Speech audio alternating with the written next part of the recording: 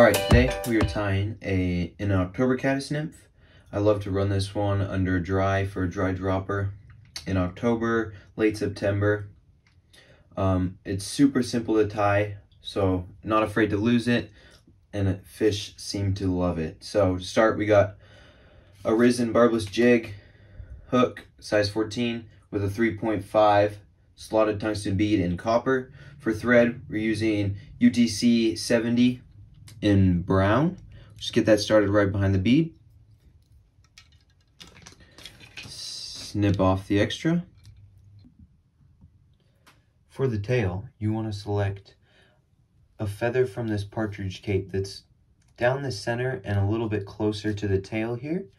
These feathers here have a little bit stiffer and they're a little bit longer with more darker markings like this one. You want to strip the fuzzy bits off of the feather here. So you're left with just the tip of the feather. And you will pull down,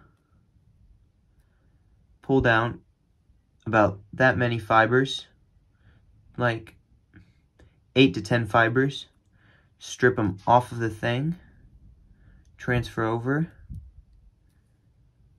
pinch them together, and that's gonna be your tail right there. And then you transfer this to your hook.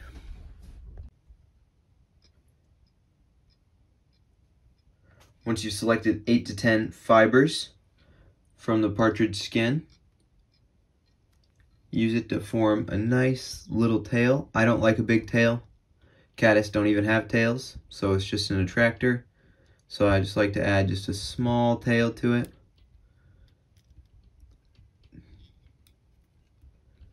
As in small, I mean pretty short. So it's just sticking past the hook bend secure down the rest of the partridge, snip off the extra back at the bead,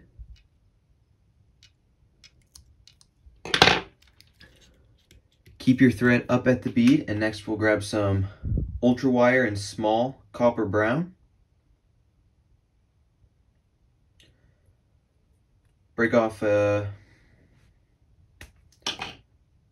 four inch section or so. Insert the tip of the wire into the bead. That will help lock the bead in place. Wrap back down to the start of your tail. Keep your thread there. The next one, I'll grab some Ice Dub Rusty Brown and create a short dubbing noodle onto your thread. You'll want one about four inches probably. You can always take or add more, so don't worry too much about the length. Enough to make a body though.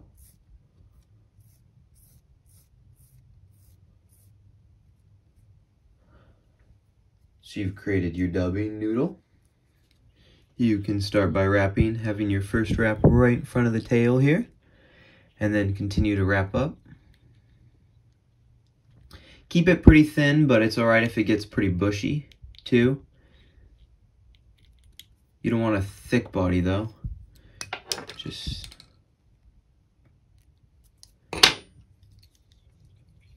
Just like that, okay? Next, take your wire, counter wrap. Different direction than what you put the dubbing in. Open spiral wraps up to the head of your fly. Secure it, helicopter it off so it has a clean break, okay? For the collar and the hackle of your fly, you'll want to select a feather from closer to the head where they're a little bit smaller and they have these nice markings. A feather like this one here would be great. All you need to do is grab it, pluck it off, okay? Once you've plucked it off, you want to strip out these fuzzier fibers and you're left with just the nice, nice barred marking and the stem, just like that. Then we can take this and tie it into our fly. Next, grab the partridge feather you have selected from the cape. Pull down the fibers except for the tip. Just like this. Leave the tip out there just like that. Snip it off just a bit so you create a little triangle. Tie it in by that triangle right there at the head of the bead. Right behind the bead, okay? Next, grab some hackle pliers. Grab your feather from the tip. Fold your fibers back. Just like that. Then you just start wrapping it in touching turns, one right in front of the other.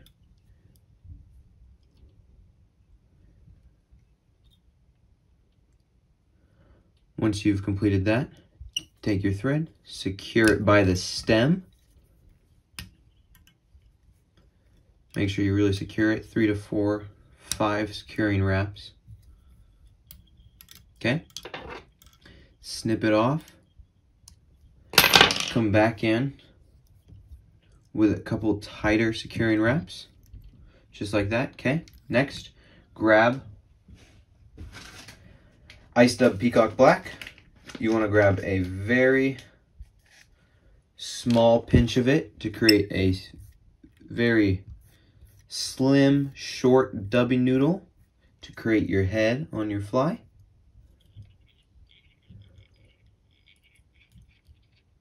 Wrap it down, create a nice buggy head just like that. Grab your whip finisher. Use it to do a four to five turn whip finish.